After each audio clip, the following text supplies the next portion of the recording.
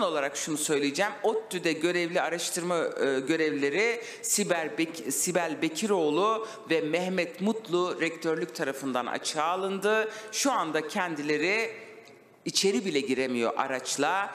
Bu gizli tanık beyanlarıyla akademisyenlerin hayatına son vermeyin diyorum ve eğitim kurumlarını ele geçirme stratejinizin farkındayız ama başaramayacaksınız. Teşekkür ediyorum.